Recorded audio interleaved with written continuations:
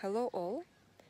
In this video I put a compilation of my first two days on the Camino, on my Camino Frances.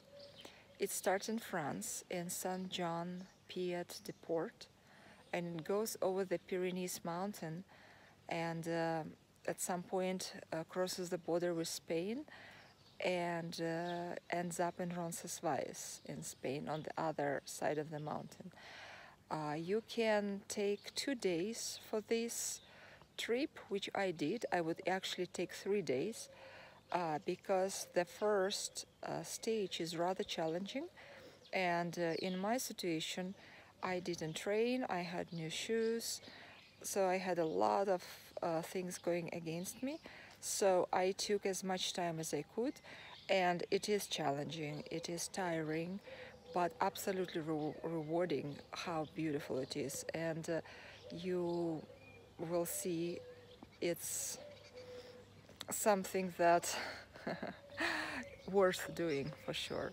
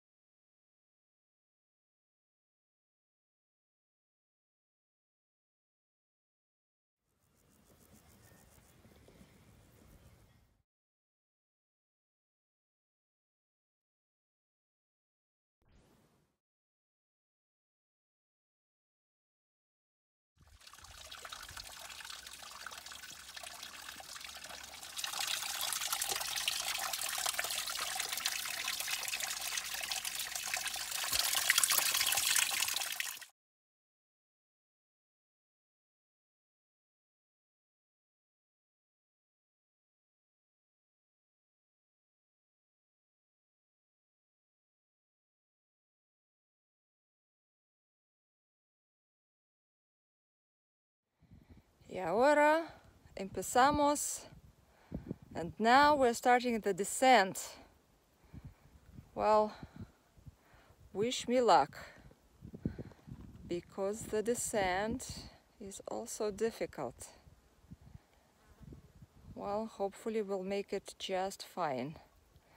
Love to all.